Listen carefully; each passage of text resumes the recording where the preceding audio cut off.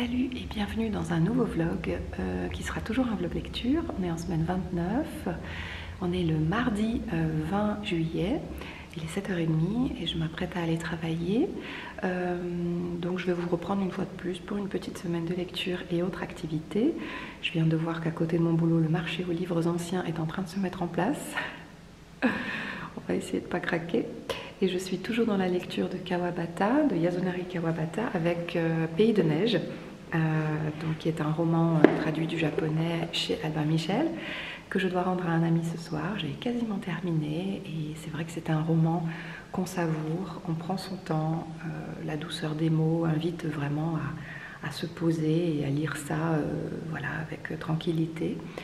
j'ai donc pris mon temps pour le lire et j'ai beaucoup, beaucoup, beaucoup aimé. J'aime toujours.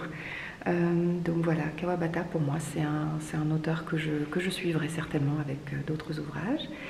Et euh, ce soir je vais assister à la première de Camelot, donc je ne vais certainement pas lire. Par contre, je serai dans une ambiance de malade. je, je, suis très très fan de la série, mais pas autant que les personnes avec qui j'y vais. Et, et, ça va être génial, ça va être démentiel. Donc j'ai hâte d'y être et de voir un petit peu ce qu'Alexandre Astier propose dans ce long métrage qu'on attend depuis, euh, depuis des années. Quoi. Voilà, alors je vous retrouve un petit peu plus tard euh, au marché. à toutes.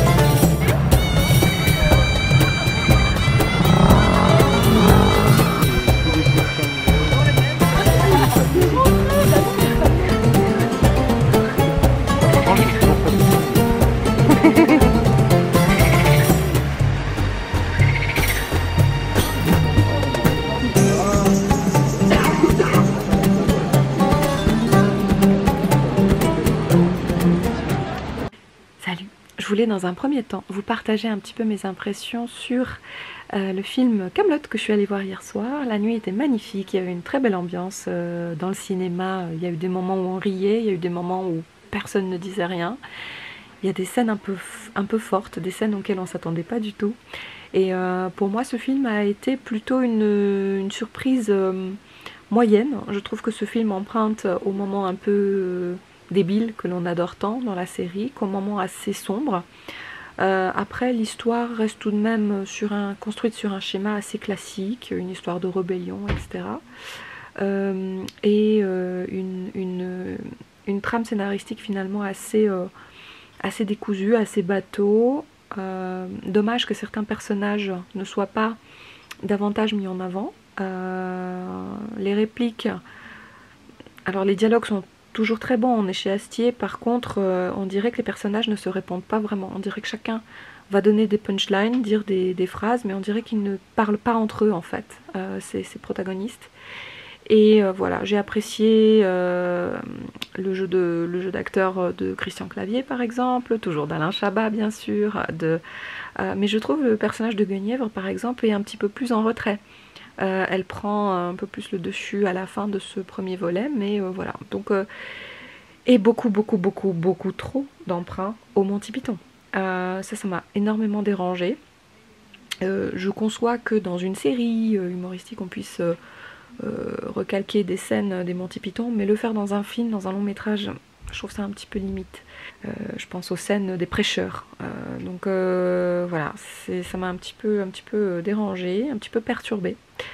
Euh, mais euh, voilà, plutôt un bon film euh, dans, l'ensemble. Je reste très fan de la série Camelot et je pense que j'irai voir le deuxième volet du film au cinéma également. Voilà, voilà pour Camelot, la parenthèse Camelot. Faire démarrer ce vlog en vrai. Ce vlog qui sera, je sens, un tout petit vlog lecture parce que j'ai pas énormément lu dans le train. J'ai continué en fait mon livre sur William Finnegan sur le surf et j'espère en tout cas le terminer cette semaine. C'est quand même un gros pavé écrit tout petit et j'ai consacré en fait ma soirée un peu au repos et à une conférence aussi que j'ai visionnée sur internet.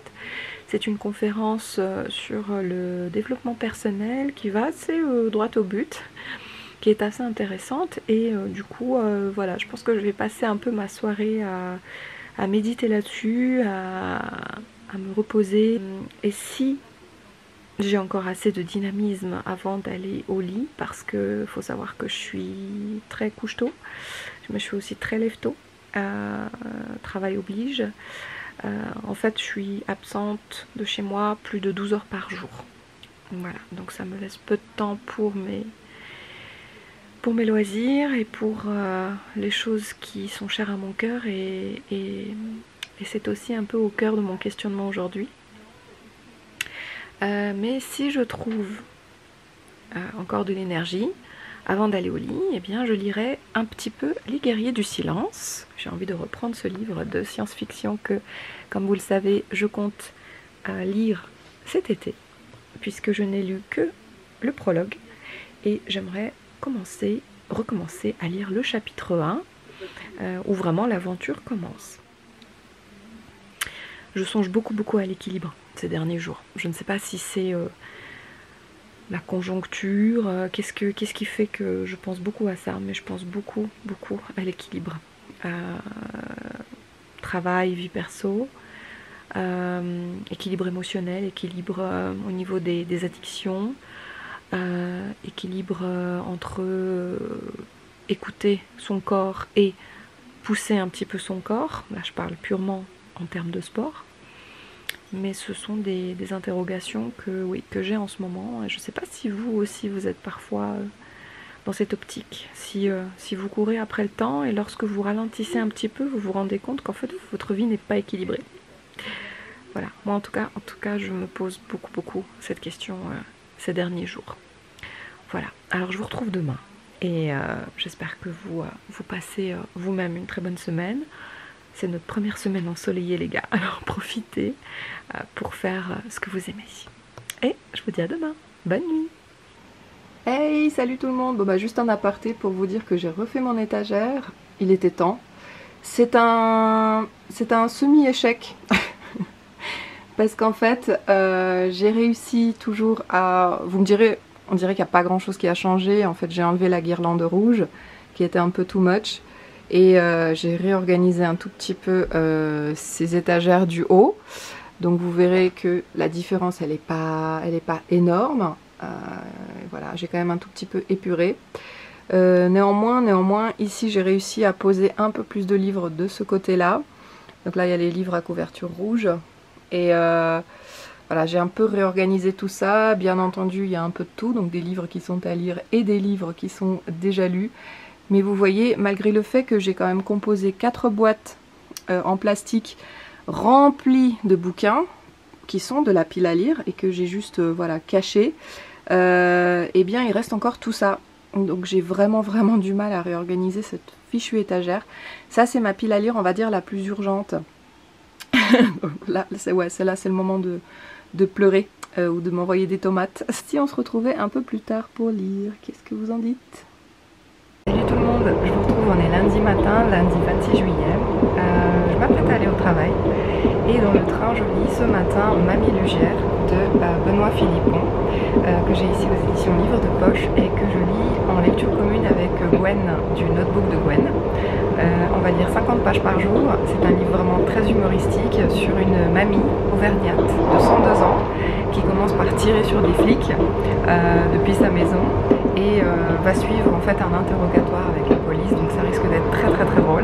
Donc euh, je vais, je m'apprête à lire mes 50 premières pages euh, maintenant, et euh, lorsque j'aurai fini ces 50 pages, eh bien je vais me reprendre la lecture de William Finnegan avec Les Jours Barbares, donc Une vie de surf, qui est en fait ma lecture depuis, depuis maintenant pratiquement une semaine et demie, je suis dessus.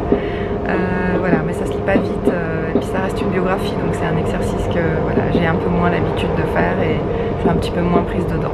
Salut tout le monde, bon je vous retrouve pour un petit bout de vlog avec mon café euh, pour vous dire que où j'en suis un petit peu au niveau de mes lectures. Alors c'est simple, euh, j'ai commencé une lecture commune hier, hier on était lundi, avec euh, Gwen de la chaîne Le Notebook de Gwen et on est en train de lire ensemble Mamie Lugère de Benoît Philippon qu'on a commencé, on lit 50 pages par jour donc aujourd'hui on doit lire la deuxième cinquantaine de pages.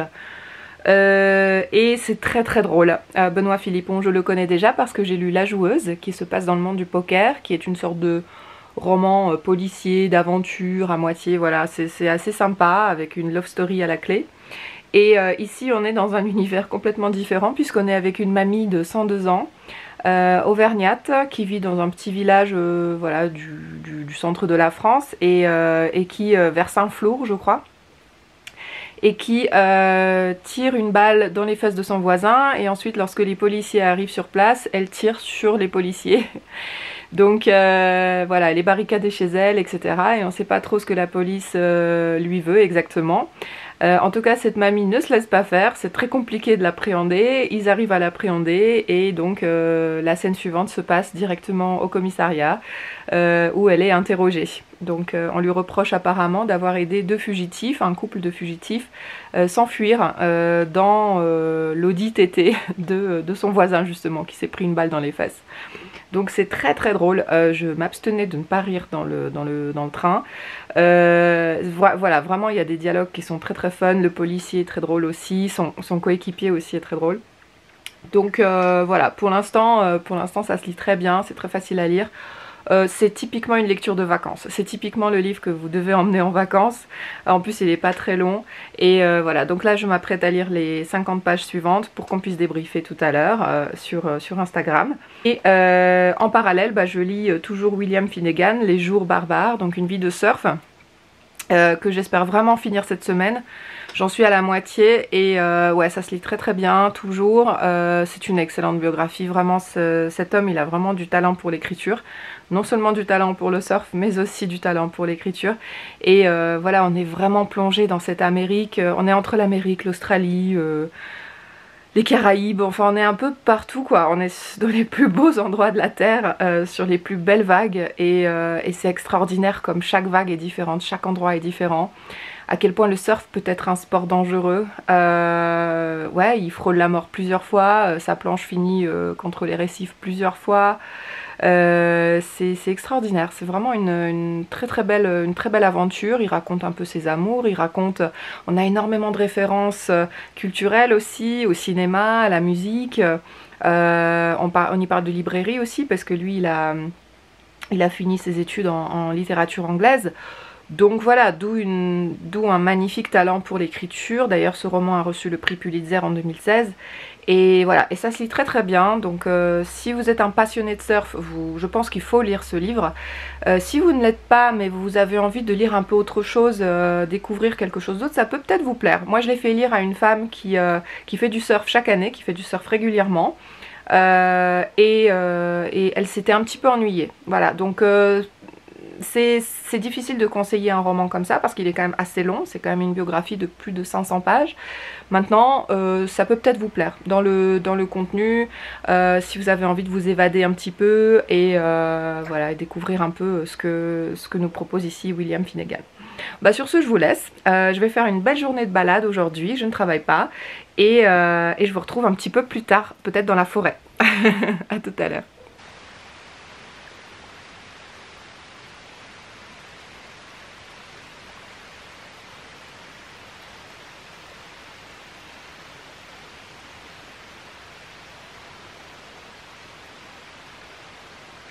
Hey salut tout le monde, bon bah je vous retrouve, on est le mercredi 28 juillet et je voulais juste vous toucher quelques mots de Mamie Lugère. Euh, alors là j'en suis arrivée page 100 et je suis épatée par euh, le féminisme qui est présent dans ce bouquin. Je savais déjà que Benoît Philippon faisait des, livres assez féministes mais là c'est assez fort. On va vraiment passer, basculer dans le passé avec Berthe, dans son passé très difficile. Et, et l'auteur va vraiment parler de la condition de la femme, qui était extrêmement dure à cette époque. la manière dont les femmes étaient violées, dont elles étaient accusées des, pires atrocités. Et euh, c'est la première fois que je rigole pendant une scène de viol, vraiment. Euh, mais en tout cas, il a réussi son, pari de, rendre une scène de viol assez, euh, drôle. En tout cas, en tout cas, on se moque du SS hein, qui, viole Berthe. Mais voilà, je ne veux pas vous en dire beaucoup plus. En tout cas, c'est vraiment vraiment bien foutu. Et voilà, malgré tout l'humour qu'il peut y avoir dans ce bouquin, il y a quand même des thèmes très très intéressants et très importants et très profonds. Je vous retrouve, on est le jeudi 29 juillet et c'est la toute dernière séquence pour clôturer en fait ce vlog. Euh, je voulais vous faire un petit peu un point sur mes lectures actuelles et euh, juste vous expliquer pourquoi je vais arrêter de tourner alors qu'on est jeudi. Eh bien je vais arrêter de tourner tout simplement parce que je décolle samedi pour mes vacances et euh, il me reste très peu de temps pour me préparer et... Et du coup voilà, donc j'ai une après-midi et demie on va dire pour me préparer encore mon voyage, sachant que la valise n'est pas prête, il n'y a rien qui est fait. Donc euh, voilà, donc euh, bah, je vais me dépêcher de clôturer. Et je voulais vous en dire un petit peu plus sur mes lectures en cours. Donc je suis toujours dans Benoît Philippon avec Mamie Lugère. Euh, que je lis en lecture commune avec Gwen et en fait on est extrêmement surprise parce que passé les 50 premières pages les thématiques deviennent beaucoup plus beaucoup plus sérieuses et pourtant on est toujours dans l'humour, on est toujours avec Mamie Lugère. Je vais pas vous dire exactement parce que je veux vraiment pas vous spoiler, je vous en dirai un petit peu plus en point lecture. Je vais pas vous dire un peu ce qu'elle fait, Mamie Lugère, mais elle est, elle est très spéciale. Hein on la voudrait pas pour, euh, pour grand-mère ni arrière-grand-mère en fait. Voilà, donc elle est un peu spéciale. Elle en fait, hein, des vertes et des pas mûres. En tout cas, euh, j'apprécie énormément le personnage, malgré ce qu'elle fait. Et, euh, je suis très très contente vraiment de, de lire cette œuvre-là, parce que je trouve ça infiniment mieux que La Joueuse. Euh, du même auteur. Et, euh, en plus de ça, bah, voilà, je rigole, etc. Donc, et les thématiques sont profondément féministes et très très ancrées dans, euh, voilà, dans, dans, la culture des femmes, en tout cas de tout ce qu'elles subissent. C'est fou à quel point l'auteur, j'ai même vérifié si c'était bien un homme, hein, Benoît Philippon, parce que je me suis dit mais c'est incroyable, il réfléchit vraiment comme une femme quoi. C'est incroyable. Donc voilà, donc c'est un très très bon roman pour l'été, je vous le conseille à 1000% même si je ne l'ai pas encore fini, parce que franchement, je me suis arrêtée page 200, mais j'aurais bien aimé continuer euh, ma lecture euh, aujourd'hui. En parallèle, je suis toujours dans les jours barbares de William Finnegan avec une vie de surf. Et là aussi je peux vous en dire un petit peu plus parce que bah là j'ai ça y est j'ai bien dépassé la moitié. Aux dernières nouvelles là il était à Bali puis là il est parti en Afrique. Euh, tout, en, tout en écrivant un roman en fait et euh, voilà, vivant de, pas beaucoup d'argent, euh, avec parfois vraiment pas un sou en poche, euh, il a contracté une maladie, et vraiment sa vie est rythmée par le surf. Il est passionné, passionné, passionné, à la recherche de, toutes les vagues possibles et imaginables. Je suis vraiment admirative de ce type de vie, des personnes qui arrivent à tout lâcher pour vraiment partir comme ça et vivre de leur passion. Euh, euh, c'est un merveilleux roman aussi, enfin c'est une merveilleuse autobiographie à lire pendant l'été, mais ça prend plus de temps. Euh, voilà, c'est écrit tout petit, l'écriture est un petit peu plus soutenue, et c'est pas pour me déplaire, parce qu'on catalogue toujours les surfeurs, voilà, d'être un petit peu écervelés.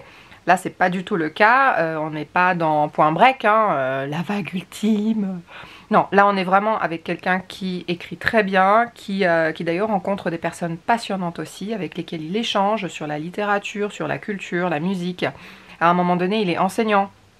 Donc euh, on a vraiment affaire à une personne voilà, qui, sait en parler, qui relate vraiment toutes les cultures euh, qu'on peut trouver voilà, dans, le monde entier, là où il a voyagé en tout cas, où il a vécu, il a connu un petit peu. Euh, waouh, c'est vraiment formidable. On est euh, dans les années 50, 60, 70 c'est formidable. Moi j'aime beaucoup aussi cette autobiographie. Mais sincèrement ça se lit bien. C'est pas pour rien qu'il a reçu le prix Pulitzer. C'est extrêmement bien écrit. Euh, ça vous transporte. Vous êtes dans un autre monde en fait. Et, oui ça peut être aussi une très très belle lecture. Peut-être pas pour la plage mais ça peut être une très belle lecture en tout cas estivale. Et je vous le conseille aussi. Et enfin, figurez-vous que j'ai reçu le livre que j'ai tellement euh, reluqué euh, en librairie, euh, mais c'était en Suisse, hein, donc autant vous dire que je faudrait que je, casse mon PEL pour l'acheter. donc ce que j'ai fait, c'est que je l'ai commandé côté français. j'ai acheté L'âge du capitalisme de surveillance de Shoshana Zuboff dont je vous parlais rapidement pendant mon dernier vlog parce que je vous parlais en fait du livre de Bernard Minier avec M, le bord de l'abîme. Et je vous disais que ça parlait de l'intelligence artificielle, etc., vraiment du capitalisme euh, actuel, euh, de, de tous ces déboires, etc., de la dominance de la Chine. Et là, on est dans un essai euh, qui est très très complexe, c'est une, énorme brique. C'est plébiscité par le New York Times, le Financial Times, le Guardian et Barack Obama. donc voilà, donc que vous dire de plus? Je l'ai juste ouvert par hasard. Hein à la page 405 et je me permets de vous en lire un tout petit paragraphe. Donc il s'agit d'une étude, je vous épargne euh, laquelle, mais il s'agit d'une étude qui a été euh, menée sur à peu près 700 euh, 000 personnes. Et en gros, donc il y a une expérience qui a été menée, qui était structurée de manière suivante. On posait sur le fil d'actualité, on vous proposait en fait des informations sur votre fil d'actualité Facebook. à une catégorie de la population testée, euh, c'était des messages positifs et pour l'autre catégorie de la population testée, c'était des messages euh, négatifs en fait. Euh, et l'hypothèse à tester, une exposition fut-elle subliminale à des contenus émotionnels spécifiques, poussait-elle les utilisateurs à modifier leur comportement en matière de post Facebook pour refléter ces contenus? Réponse oui. Quelle que soit l'humeur de ces utilisateurs, le ton de leur post était modifié par la teneur de leur fil d'actualité. Voilà, donc c'était une étude qui est menée et nous sommes régulièrement apparemment soumis à des tests euh, sans savoir, hein, à notre insu sur Facebook pour savoir si euh, voilà, des, tel ou tel contenu va euh, pousser notre, notre propre euh, notre propre humeur euh, va nous pousser à faire certaines choses en fait, à poster des messages négatifs, à réagir ou à surréagir. Voilà, donc faut savoir qu'on est régulièrement euh, testé sur Facebook, chose que vous saviez probablement, mais en tout cas c'est intéressant de le voir retranscrit dans un essai et vous savez quoi? J'ai envie de l'emmener en vacances, mais je sais qu'il pèse une tonne, mais j'ai envie de l'emmener en vacances avec tout plein de post-it pour vraiment sur, surligner les pages qui sont très très intéressantes. En tout cas, il me tente énormément et, euh, voilà, donc je vous en dirai certainement des nouvelles prochainement parce que même si c'est une lecture un petit peu, euh, un peu anxiogène j'imagine, euh, ça m'intéresse grandement. Donc voilà, donc j'ai hâte de m'y de m'y atteler. D'ailleurs, ma petite libraire m'a dit Ah oui, euh, on l'a reçu, puis euh, il, m'avait vraiment fait de l'œil. donc, euh, donc voilà, je pense qu'elle n'en avait pas entendu parler de ce, bouquin-là. Il est sorti chez Zulma Essai. Donc en même temps, c'est pas une sortie, voilà, c'est pas, c'est pas une des maisons d'édition dans lesquelles euh, ma librairie euh, s'approvisionne régulièrement. En tout cas, je voulais clôturer ce vlog en vous souhaitant à vous aussi ben, un merveilleux week-end. J'espère que ce vlog vous plaira. J'espère qu'il paraîtra avant mon départ, vu ma connexion. Et puis pour ma part, je vous embrasse. Je continue à travailler très très dur pour pouvoir partir en vacances sous les meilleurs auspices parce que c'est ça le but de ma vie.